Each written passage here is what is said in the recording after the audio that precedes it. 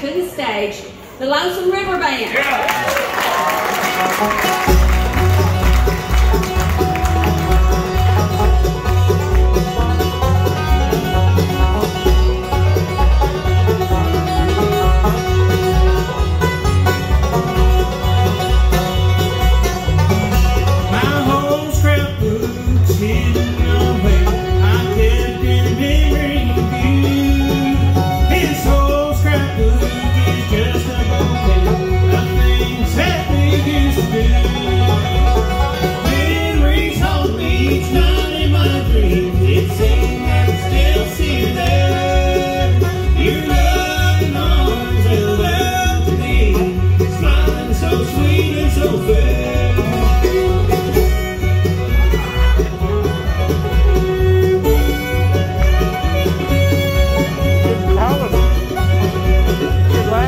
Oh.